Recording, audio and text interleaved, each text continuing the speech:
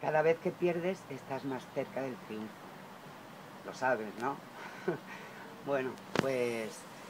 eh, yo tengo tres, tres premios Ondas, gracias a Dios, de los cuales estoy muy agradecida y, cada uno tiene su historia y os voy a contar un poco eh, la historia del primero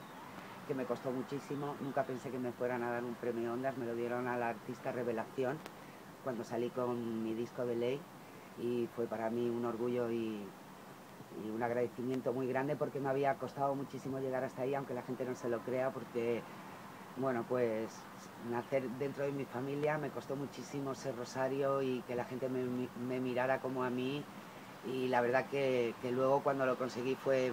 ese triunfo que me llevo y el Onda fue uno de ellos.